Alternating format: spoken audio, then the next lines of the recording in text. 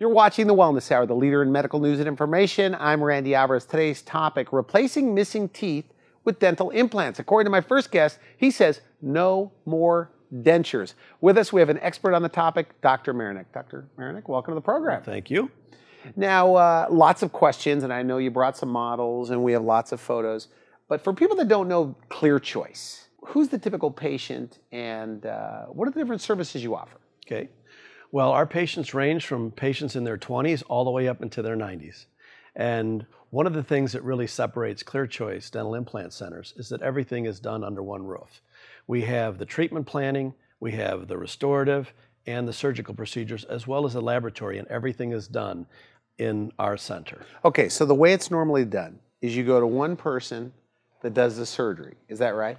And then another person puts the teeth on top, and then maybe even somewhere else to get the imaging?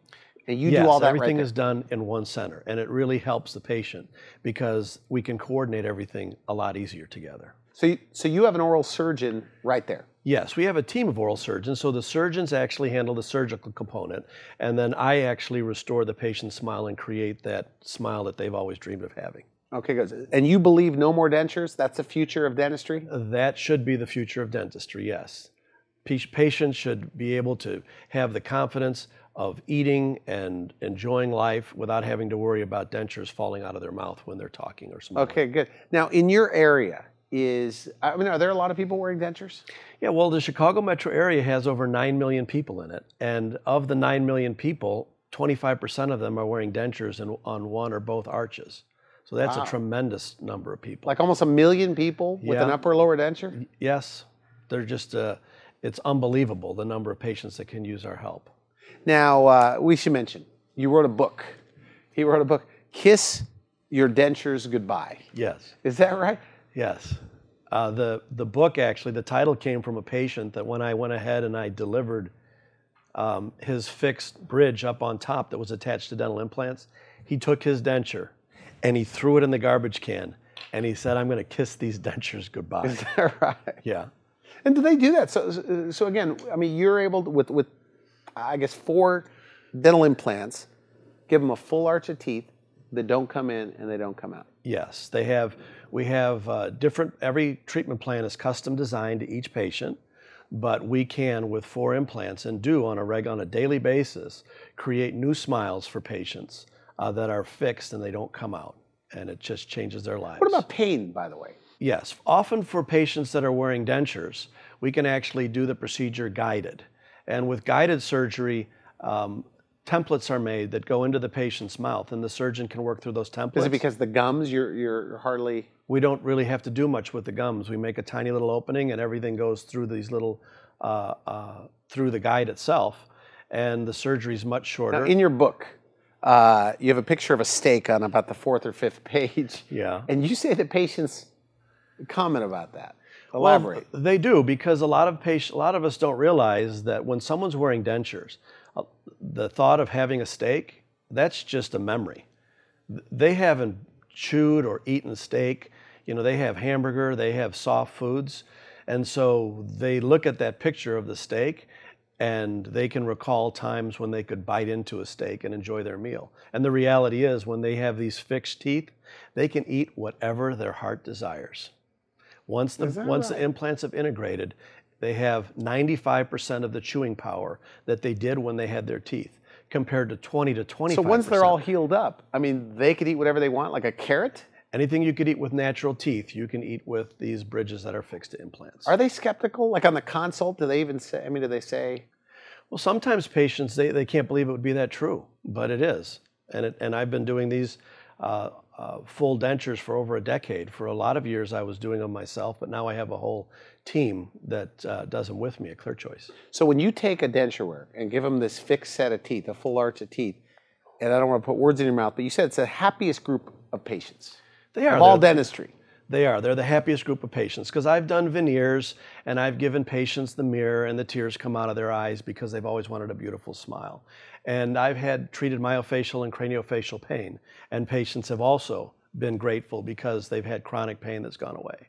But when you take a patient that's 40, 50, 60, 70 years old and you give them a fixed set of teeth, they feel like they've got their life back. They tell me that they feel like they're they're they're whole again because now they can go out and smile, they can laugh at their friends, they can do what they want. I had a patient who his wife said they were out to dinner. And someone cracked a joke. And he laughed so hard that his denture fell out on his plate. Well, that's for him was about as funny as someone losing a prosthetic hand. I mean, oh, he did not go out for six years. It took her two So years. very embarrassing. Very embarrassing. It took her two years to get him to come to see me. And when we finished his smile, she said she got her husband back. So for the denture wear, you say that there's close to a million people, maybe within an hour of your practice, that have an upper lower denture. Yes. Now, if it's so good, why aren't they all doing it? What's your take on that? Well, Randy, you know, a lot of them don't even know that they have a choice. They've been wearing a denture for so many years that they didn't even know that they have an option. And some of them, to get to that denture, it was pretty rough. They had a rough life as a dental patient. They went in and they tried to save their teeth, and they had gum disease, and then they had toothaches. So the thought of going to a dentist for them is not a pleasant thing. They don't want to go back. They don't want to go back. Do you back. still hear that where people say, I don't like going to the dentist? Because nobody likes going to the dentist. Well, I know, and I'd usually tell the patient, usually it takes a while for someone before they don't like me.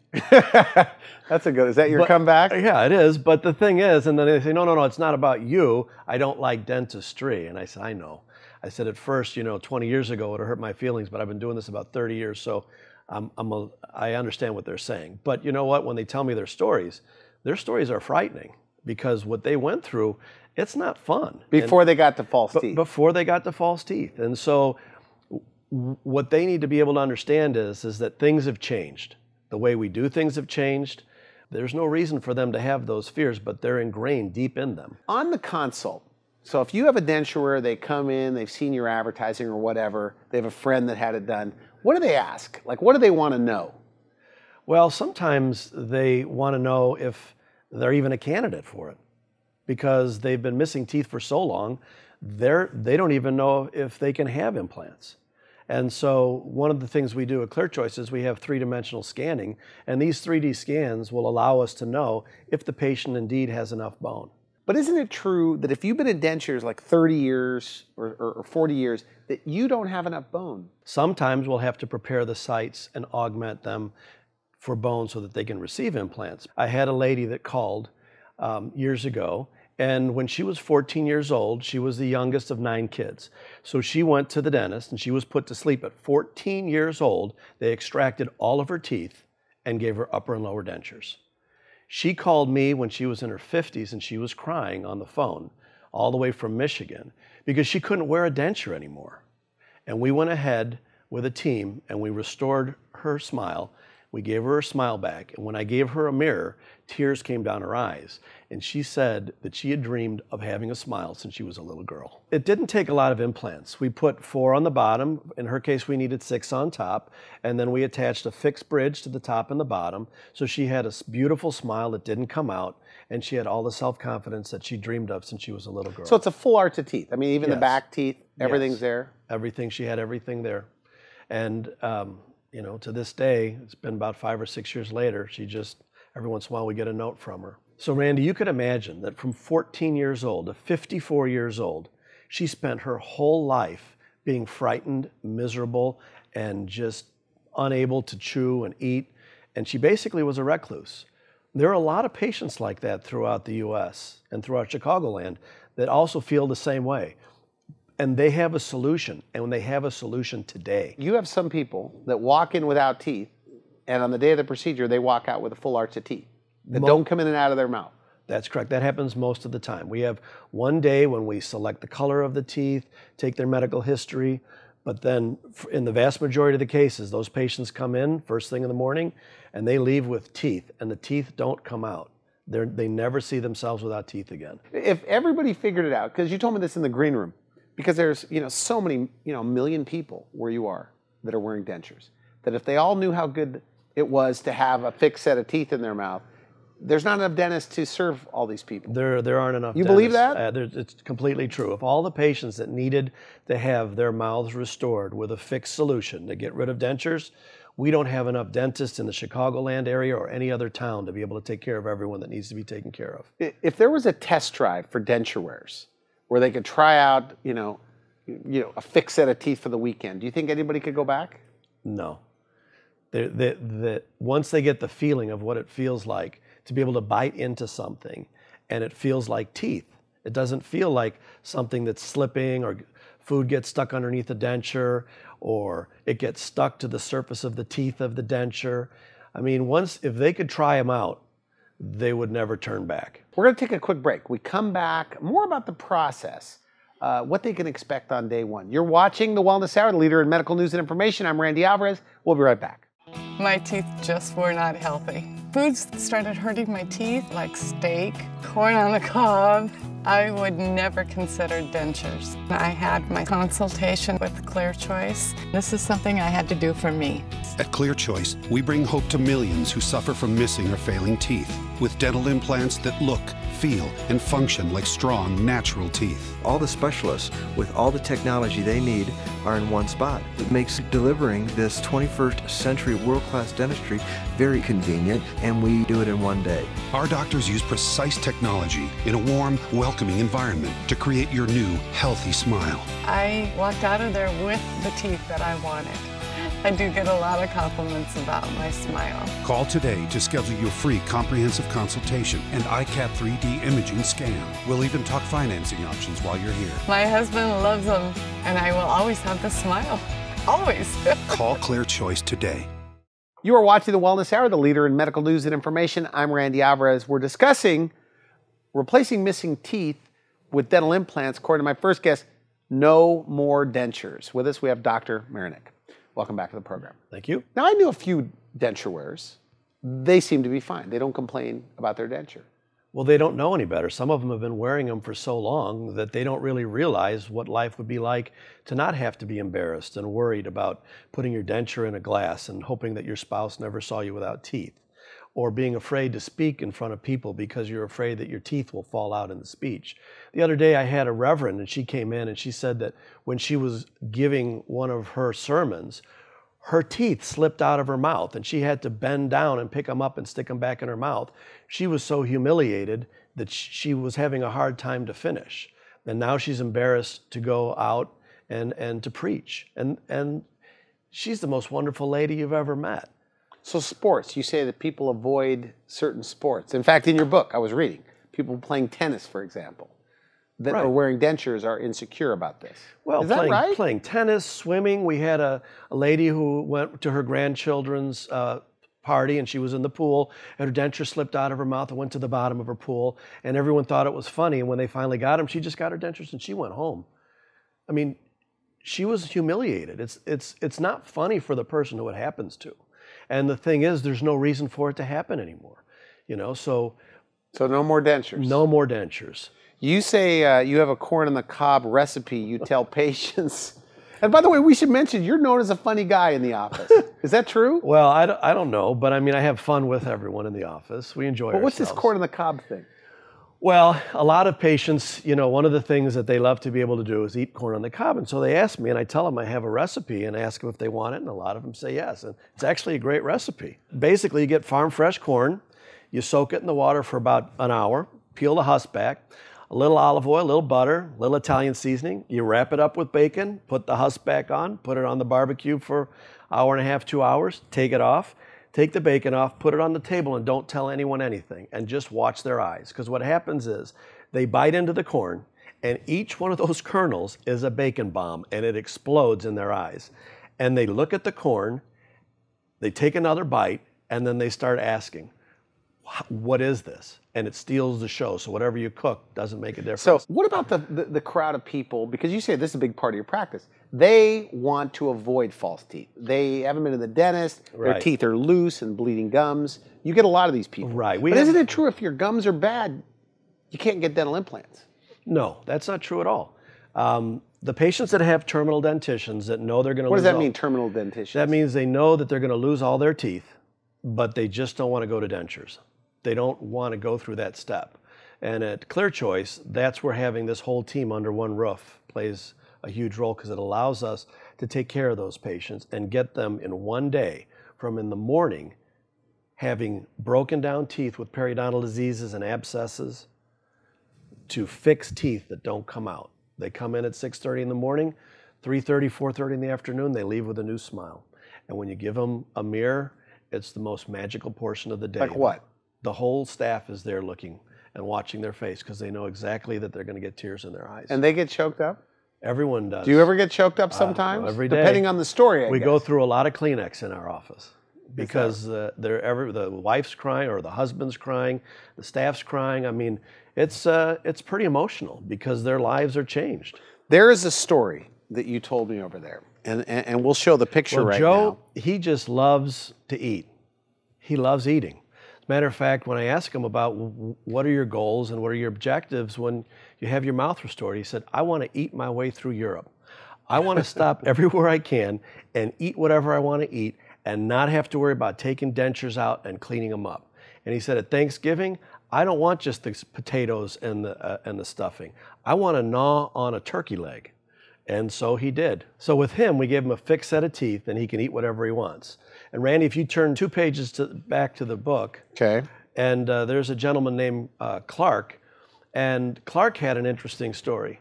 Um, Clark actually um, went, he had periodontal disease in his 20s, and he lost his upper and lower teeth in his 20s, and he was told he had no bone for implants. And basically, uh, he had a situation that was very embarrassing from him, and he just didn't leave the house. He just Really? he didn't leave his house for almost for several years, almost five or six years. He didn't leave the house because he was humiliated by something that happened. Then his wife, who was also a patient, finally got him to come in. It took her about two years to get Clark to come in, and we came up with a solution. And he has a fixed upper and lower smile bridges, and and now at a national level, he's helping with education. You know, and his, his wife said she got her husband back, that his personality came back once he had a fixed solution in his mouth. So it's a pretty magical uh, uh, story for him to be able to enjoy his life again. And the best line that a patient's ever said about changing from dentures to having fixed teeth came from Clark when he said, Thank God they don't come out. Is that right? You have a video of that. I have a video of it, and it's really heartwarming to be so able to your see it. mission, I mean, Clear Choice, is uh, you're trying to wipe out dentures, right? I mean, in a way, I mean that's Yeah, what you're. I absolutely. mean, your goal is nobody should be wearing the traditional dentures. There's they no- should be attached to something. There's the, well, they, it should be fixed to the bone. Just like your teeth are fixed to the bone, the denture should be fixed to the bone. So instead of wearing something that squeezes on the gums and hurts, plus when you wear denture or when you wear fixed bridges that are attached to the bone, the bone stops resorbing. It stops going away because it's it's getting used by biting on it. When you wear dentures, eventually it goes away and it so the goes bone away. just kind of shrivels it away. just shrivels away. Yeah. Is that right? But it doesn't shrivel away once you're wearing denture, once you're wearing uh, bridges that are attached with implants. America is getting more and more beautiful every day. Smiles are brighter, confidence is higher, outlooks on life are improving daily. Why?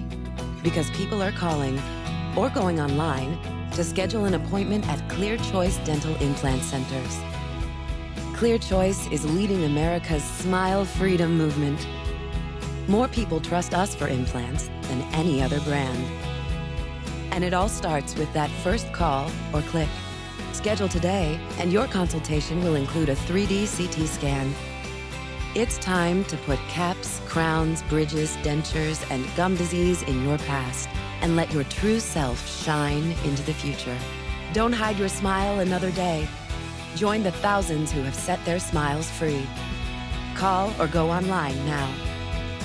Let's make America more beautiful, one smile at a time. So you brought some models. What are you showing me here? Well, here's an example of a regular denture. It covers the whole palate, which affects your ability to taste food. Um, and it basically is just held in with suction.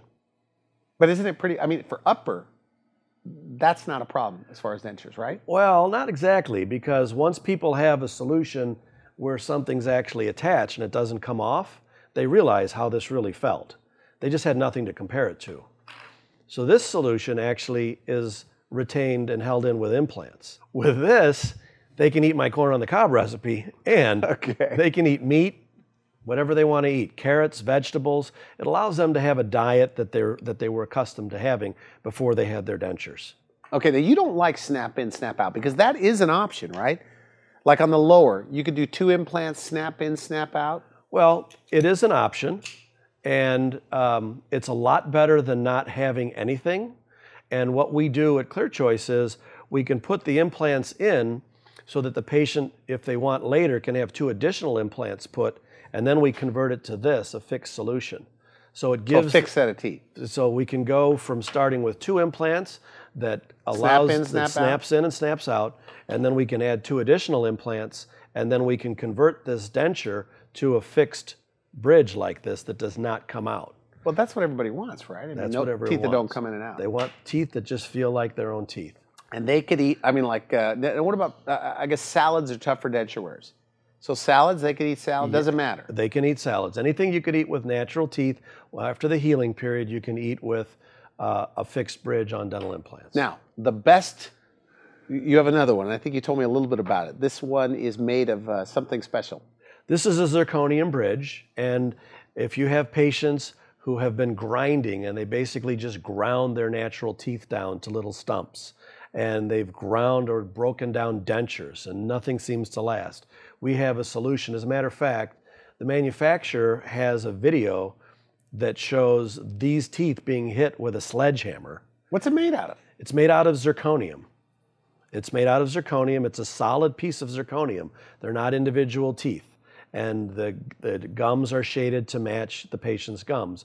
But it's incredibly strong. We, every year, we have more and more uh, choices and solutions and options for patients. So with that, they could literally eat. I mean, they couldn't break those teeth, right? They can't, but they're still teeth. so people, if if you've been in dentures 30 years, 40 years, there's there's something. It's not too late. it is definitely not too late. Uh, we have patients that come in on a regular basis that are in their 70s and 80s, and they want to enjoy their life. They want to be able to do what they used to do. They want to be able to eat food, go to a restaurant, look at the menu, and pick what they want, rather than having to pick something that they think that they can eat without being embarrassed. Uh, I mean, there's no reason. We have patients that are out um, doing all kinds of sports and activities that are in their 60s and 70s. We have patients that are living into their 90s, and I've, I've even had a patient that, a pair of patients that were both 100, a husband and wife. That you did dental implants on. Uh, I had a patient that was, he came in now, at why would 100 want to years do old. that at 100 years old? Well, it was very interesting because the husband was trying to talk and the wife kept interrupting. and the husband turns to the wife and says, Would you let me finish my sentence? And she says, I haven't let you finish a sentence for 80 years. Why would I start now? It was pretty amazing to be in a room with two people that were 100 years each. But his jaw, he needed to have two implants because it was actually painful because the denture was pushing on the nerve. So he wasn't able to eat anymore and he decided he wanted to be 105. So with him, he just had two dental implants and then his denture could lock into those. Um, and it gave him the solution that he needed. So no more adhesive or anything. No like more that? adhesive for him. No, over 100, over 100 years old. Just amazing. So patients that are coming in that are 50, 60, 70, they're actually youngsters now. I told you my mother was told at 72 years old by her medical doctor that she was too old for dental implants, that they would fall out. Is that just old thinking or just not true? It's just not true. Um, even if patients have medical problems, we can work with their physicians to get medical clearance so that we can work because we want to make sure that it's safe for them. But uh, we have patients that sometimes, if they have diabetes or something, we have to wait until their diabetes is controlled and we work with their physicians. And once we get approval, we go ahead. But it's not because of the bone. Even patients that are taking bisphosphonates, there are tests that can be done to see if it's safe for them to have dental implants. So the vast majority of patients can benefit from having a fixed solution, a fixed set of teeth in their mouth. Now, you say you've made dentures for hundreds of patients in the past. Uh, you don't do that now. So, what do you say to the patients that may tune in that you've, you've, you've connected them with uh, you know, dentures? Well, come in and see me. And with implants now, we can create a, a new smile for you that doesn't come out, and you can enjoy eating and talking and doing whatever you want, just like you had your natural teeth. Is it more women than men? Actually, Don't men put things off? Yeah, the, the women typically are the ones that tell their husbands to go have their mouth fixed, and then the husbands listen. Because of the complaining that the husbands are doing? Well, my wife told me the three things I had to remember to have a happy marriage was say yes, uh huh, okay. And most of the men, when I tell them that, they start laughing because they're over there because their wives want them to be there. But their wives want their husbands to have a better life. And Good. so they do. But we could, we take care of patients from every age group and um, it's just amazing to watch the transformation when we get to see them after they come back. and You love us. this, by the way. I do. Because you said it. you wanted to be a dentist at 14 years old. Yep, I knew a long time ago. My scoutmaster was a dentist, and I knew I wanted to be a dentist at a very young age. It's a wonderful profession. Your son wants to be a dentist. Is that is that right? Yes, he wants to be a dentist as well. I want to thank you for coming to the show. Great information. They could go to your website, look at the before and afters. Yes, Find out more. It's- yeah, I would love to have them come on in and visit us, and we'll be able to come up with a plan to be able to restore their smiles. Great. Thanks again. You've been watching the Wellness Hour. I'm Randy Alvarez. For now, I wish you good health. Thanks for watching The Wellness Hour, the leader in medical news with your host, Randy Alvarez, the authority on health issues.